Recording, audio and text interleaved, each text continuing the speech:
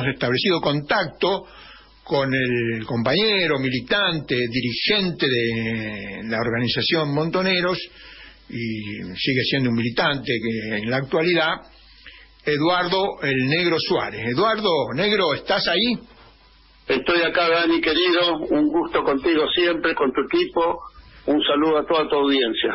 Y un homenaje también de mi parte y de la organización en la que militó y convocatoria Segunda Independencia al compañero presidente Salvador Allende, a su pueblo, a su gobierno y a todos los que cayeron a partir de ese fatídico 11 donde los gringos y el imperialismo avanzaron contra nuestros hermanos chilenos.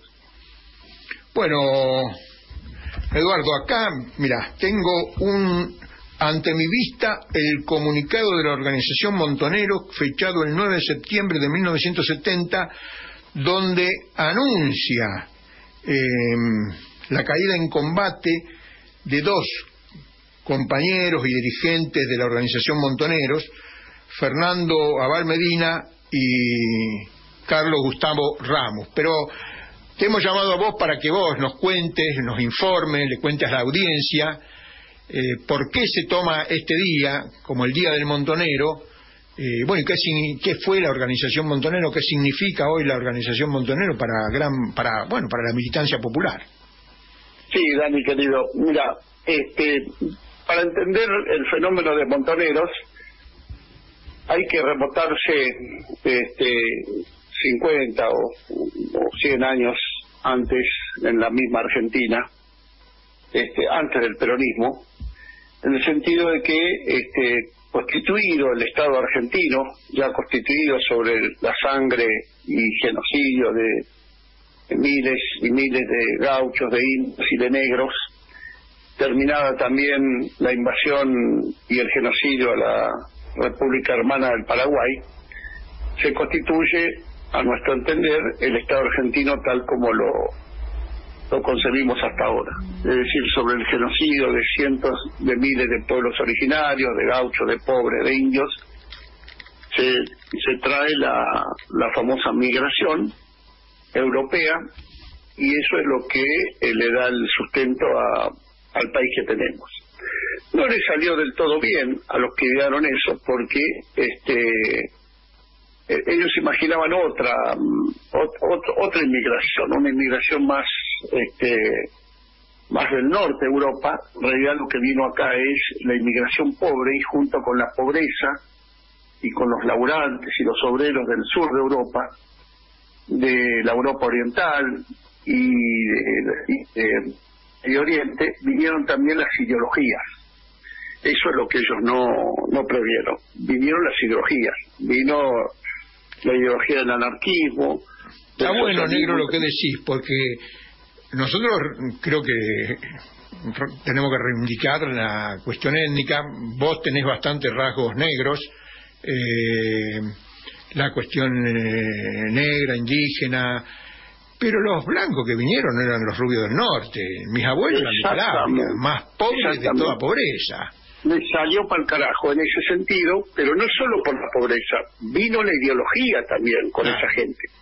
Vino la ideología y de ahí provenimos muchos de nosotros también, de esa ideología. Es decir, se mezcló el, los sobrevivientes, los capecitas negras, los sobrevivientes de aquellas matanzas de fines del, anterior siglo, a partir de 1880, eh, con la ideología.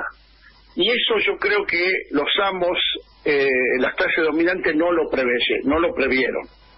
Y entonces ya eh, nosotros reivindicamos todas las luchas de la Patagonia rebelde, de los anarquistas, de los comunistas, de los socialistas, de los primeros 30, 40 años. Y después vino el peronismo. Eh, y el peronismo, que, tiene que ver también con un fenómeno muy específico de la Argentina, la guerra en Europa, este, la aparición del, peronismo, con el mismo peronismo, con el advenimiento del peronismo, este, el peronismo, como ustedes saben, es un, eh, un movimiento que tiene como bandera principal y como ideología la alianza de clases. Es decir, el peronismo consideraba, entendía que las clases sociales debían discurrir por caminos paralelos, sin enfrentarse, y que un supraestado nacional, el Estado peronista, podía hacer posible que las clases sociales, en lugar de enfrentarse, pudieran recibir una determinada pauta, digamos, de eh, Producto Bruto Interno, que llegó en un momento a repartirse, digamos, entre el 50 y el 55% o el 51% para la clase obrera y un porcentaje similar para la oligarquía. Eh, eso ya de por sí, que eh, es más incluso por el peronismo como un avance, eh, nosotros lo vemos efectivamente como un avance, pero también con las limitaciones, porque tenemos que considerar, Dani y audiencia, que si vos repartís 10 pesos este, y al 10% eh, de la población que le repartís los 10 pesos le das 5 y al otro 90% le da los otros 5, este, tampoco está siendo equitativo. Pero lo concreto es que este, para la época fue un avance, nunca antes ni después del peronismo, eh, la clase obrera pudo ser tributaria del 50 o el 51% de la renta. Cinco es más que tres, que, le tocaría ahora. Exactamente, tal cual, tal cual. Exactamente, cinco es más que tres. Entonces, pero la lucha de clases interna en el peronismo eh, no se paró. Nosotros lo vimos durante el propio gobierno peronista, estamos hablando del primer gobierno peronista, es decir, eh, el patrón peronista, llamémosle el dueño de la y de Águila Sain, de qué sé yo, el patrón peronista y el obrero peronista, digamos. Ahora eso se ve mucho más acrecentado a partir de la caída del peronismo. Es decir, cuando el peronismo cae y se inicia todo un proceso de resistencia, la lucha de clases interna dentro del peronismo se acrecienta mucho más ya este, aparecen por primera vez, digamos, a fines de los 50, las primeras guerrillas urbanas, las primeras formaciones especiales, digamos, que eran independientes de la burocracia peronista, de la burguesía peronista, del partido, incluso de Perón, incluso de Perón. Entonces, eh, el desarrollo de esos 15, 20 años que se llamó la resistencia peronista implicó un alto nivel de conciencia, en la lucha de clase, en la lucha anticapitalista y antiimperialista, pero también en la lucha interna dentro del propio peronismo. Y hacia fines de los 60, principios de los 70, aparecen los montoneros. Yo, si me preguntás a mí, que era un cuadro subalterno, un oficial subalterno, no era un dirigente montonero, hoy soy parte de la dirección de Convocatoria Segunda Independencia, que es la organización en la que milita, pero en esa época este, era un, oficial, un oficial subalterno. Si me preguntas a mí, que que ni yo ni nuestra propia conducción eh, teníamos eh, eh, real conciencia, clara conciencia o conocimiento, o concebíamos este, este, este concepto que yo ahora estoy planteando acá, que implicaba considerar que en el peronismo había una lucha de clases este, que eso se vio claramente en Ezeiza, se vio claramente en Ezeiza, se vio, y se vio además el rol de Perón en esa lucha de clase a, favor de uno de los sectores, ¿no? Perón vino a Ezeiza, en desembarcar donde se le ordenaba, se fue a otro lado, nos cagaron a tiro y cuando tuvo que hablar esa noche dijo que los responsables éramos nosotros, no la derecha. Es decir, ya había toda una intención clara de cómo iba a jugar Perón en ese proceso de lucha de clase. Pero yo creo... Recuerdo, nosotros no fuimos, pero fuimos a las unidades básicas a recibirlo y acompañarlo en un día de lucha. Exactamente, exactamente, tal cual. Y este... Mm, pero si vos me preguntás, ese, ese día, ese 20 de junio, a la noche, cuando volvíamos cargando nuestros heridos, si vos me decís, pero este, ¿qué, ¿qué implica esto? Yo te iba a hablar de la burocracia, de los traidores, de que esos son, no son los peronistas y los peronistas verdaderos somos nosotros, te hubiera hablado de eso.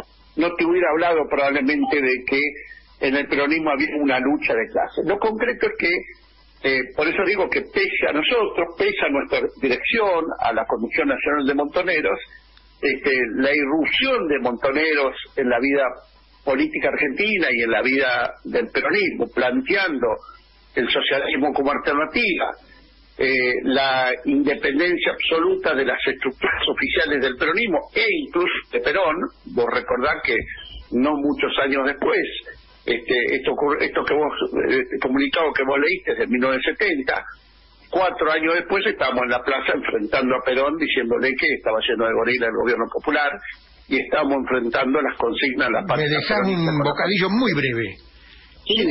en esa plaza del 27 de junio en Plaza de Mayo, nosotros también estuvimos como, como obrero que era más militante, claro. porque muchas veces no se conoce de que Montonero, ER, PRT y bueno, y el conjunto de las organizaciones revolucionarias y, de, y, el conjunto de la, lucha, íbamos todos juntos, teníamos nuestra diferencia política, pero era un gran movimiento de masa y un gran movimiento político. Tal cual como vos decís, incluso vos fíjate, Dani, las Fuerzas Armadas Peronistas, que era una organización que estaba a la izquierda del Montonero, muy a la izquierda de Montoneros, porque además eran lo que nosotros llamábamos los viejos, los tipos de la generación de mi papá, digamos, ¿no? Que tenían 40, 50 años, que habían vivido la resistencia peronista y que nos decían ustedes son unos pendejos boludos porque Perón los va a cagar, porque además nosotros los vivimos, porque también somos peronistas y veníamos de ahí. Las Fuerzas Armadas Peronistas fueron también ese día, ese, ese, ese junio, ese junio sangriento, claro, también fueron, incluso con bandera, ¿no? Y vos fijate que eran tipos más críticos que nosotros eh, y muy a la izquierda nuestra en ese en ese sentido, vos lo recordarás bien, Dani. Sí, sí. Entonces, sí, Este, militábamos juntos con los compañeros. Pues sí, si te descuidas, en algunos casos, cuando las FARC prácticamente se disuelven, gran parte de sus compañeros fueron a militar con ustedes, otros con nosotros, pero muchos fueron a militar con ustedes, sí, sí. ¿no? Eh, muchos que venían de ese, de ese palo.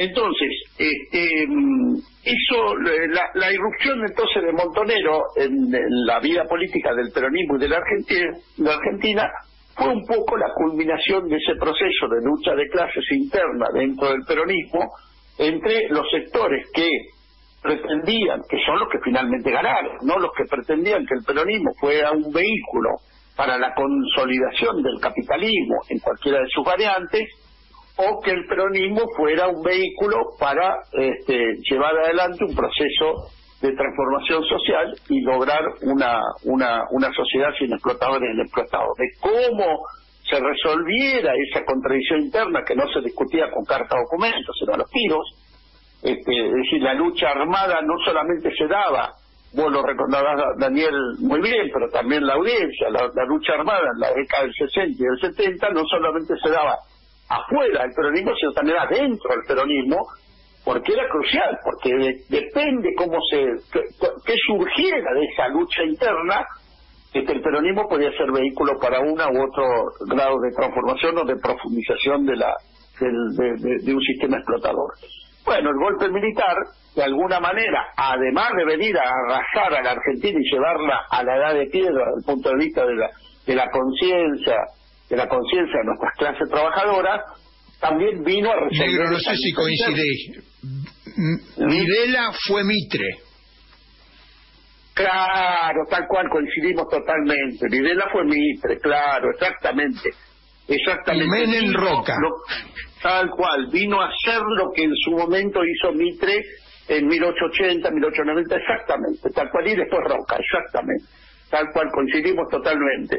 Entonces, el, vinieron a proteger a un sector del peronismo, porque vos fijate, Dani, que a Videla y a Macera eh, no eran oficiales subalternos que se, se enfrentaron contra sus superiores, eran oficiales designados por el Senado peronista, ¿no?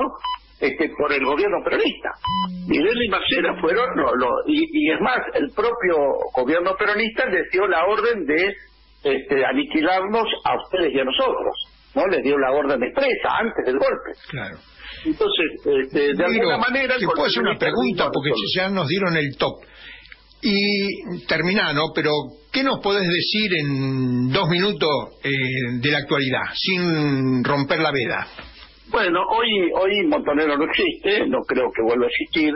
Este, fue un proceso que ya culminó con una derrota. Los montoneros fueron fuimos derrotados y en todo caso lo que puedo decir es que aquellas banderas históricas hay que levantarlas de nuevo y ponerlas en vigencia, probablemente adaptadas a la realidad actual, en un proceso de unidad donde ya es muy difícil que una sola organización pueda hegemonizar o intentar, ni siquiera intentar hegemonizar.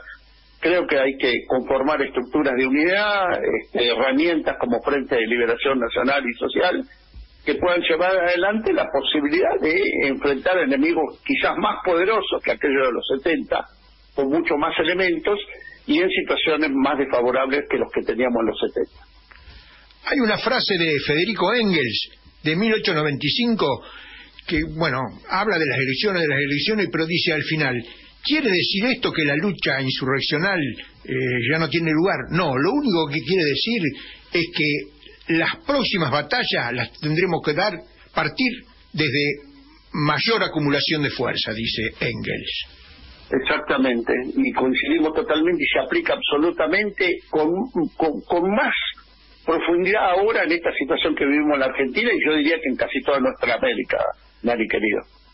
Bueno, eh, Eduardo Suárez, el negro Suárez, este, te agradecemos tu participación en el programa Todos los Fuegos, ha sido un gran aporte y bueno, en forma conjunta, como entrevistado, entrevistador, rendimos el homenaje a, mm, Fernando Abal Medina, Gustavo Ramos, a toda la militancia montonera y a toda la militancia revolucionaria y los trabajadores argentinos que dieron su vida y sigue dando su vida y su esfuerzo por la liberación nacional y el socialismo. En eso estamos, Dani, querido, y audiencia. Este miércoles nos vamos a recordar ahí en el Cabildo, este miércoles a las 15 horas. Buenísimo. Bueno, muchísimas gracias. Un abrazo enorme, Dani. Gracias por llamar y un abrazo a la audiencia. Bueno, eh, estamos ya pasado de las 3 de la tarde. Eh, transpirado, pero el programa salió, así que hemos cumplido con ustedes, con la audiencia, que para eso estamos y nos vamos muy contentos acá le damos un saludo a Mauro que ya está en, la cama, a Dayana que está firme en los controles y en la musicalización y a ustedes que nos veremos eh, hoy vine al hoy vine al auditorio acá del, es mejor ¿eh? es más linda la radio desde acá eh, tiene no sé qué tiene un no sé qué la radio en la radio bueno audiencia nos vemos el próximo sábado a las 2 de la tarde en todos los fuegos.